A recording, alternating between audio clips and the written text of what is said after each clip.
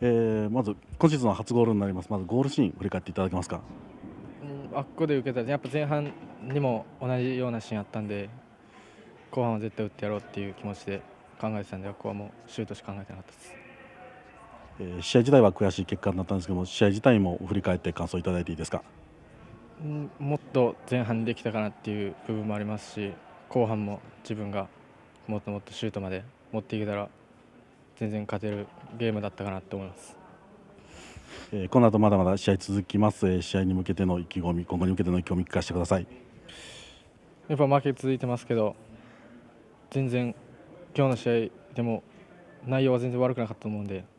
もっともっとサポーターの方とかも応援来てくださってるんでもっと期待に応えられるように頑張っていきたいです。ありがとうございました